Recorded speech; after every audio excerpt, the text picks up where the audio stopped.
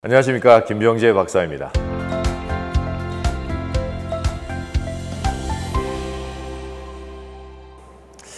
평생 채식을 했는데 병에 걸렸어요. 너무 억울해요. 몸에 좋다는 채식을 했는데 그렇다면 채식이 과연 몸에 좋은 게 아니었지 않나요? 채식이 생각했던 것보다 몸에 좋지 않은 거죠. 채식이 절대 병을 예방해 줄 수 없는 거죠. 이러한 말씀을 들어보셨을 거예요. 그래서 채식도 너무 심하게 하면 안 된다. 그거 해봤자 아무런 소용이 없다. 과연 여기에는 어떠한 이 배경이 있을까요? 채식을 했는데 제대로 안 했기 때문입니다. 채식을 했을 때 거의 모든 채식을 하시는 분이 주로 된 메뉴가 다 삶은 음식들입니다. 우리가 이 삶은 음식들을 먹게 되면은 그 영양소들이 다 파괴가 돼요. 채소 안에는 정말 어마어마한 미네랄과 그리고 효소, 비타민이 들어가 있습니다. 이것을 삶게 됐을 때 높은 온도에서 이러한 영양소들은 죽을 수밖에 없습니다. 그래서 계속 이렇게 삶은 음식을 먹으면은 영양소가 결핍된 채소를 먹게 되니까 우리 몸이 심각한 영양 결핍에 들어가게 됩니다. 그 중에서 가장 심각한 것이 바로 칼슘 결핍이에요. 이 칼슘 결핍은 우리의 혈액에서 강력한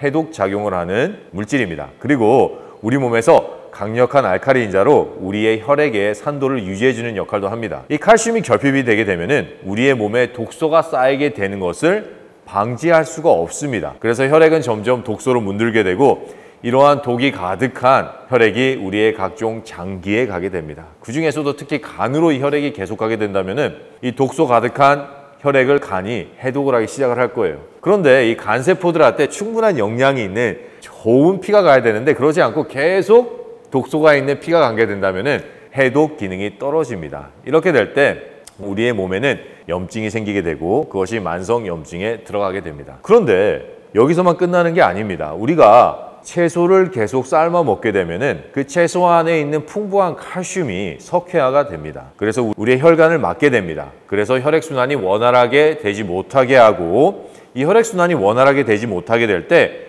우리의 세포들은 충분한 영양소와 공급을 받지 못하기 때문에 점점 죽어가고 재생이 제대로 이루어지지 않습니다. 이 상태를 바로 만성염증이라 그럽니다. 이 만성염증이 계속 지속되게 된다면 크게 알러지 반응이 일어나고 비염이 일어나고 그 다음에는 인슐린 저항입니다. 이 인슐린 저항이 오게 되면 우리 몸에 여러 가지 문제들이 일어납니다. 우리의 세포와 장기의 기능들이 점점 떨어지고 이제는 여러 가지 만성 질환에 가게 됩니다. 인슐린 저항은 당뇨에만 있는 것이 아닙니다. 치매를 가지신 분들도 인슐린 저항이 있고 우울증, 조현병, 불안증 이런 분들도 인슐린 저항이 있습니다. 고혈압, 고지혈증은 말할 것도 없습니다. 이러한 상태를 계속 쭉 유지하게 된다면 아무리 채식을 한다 그래도 우리의 몸은 건강할 수가 없습니다. 그렇기 때문에 제대로 된 채식은 생채소가 주를 이루고 있는 채식이어야 됩니다. 생채소가 주를 이루고 있고 그러나 거기에 국한되지 않으며 식물성 단백질이 풍부하고 식물성 탄수화물이 또 풍부하며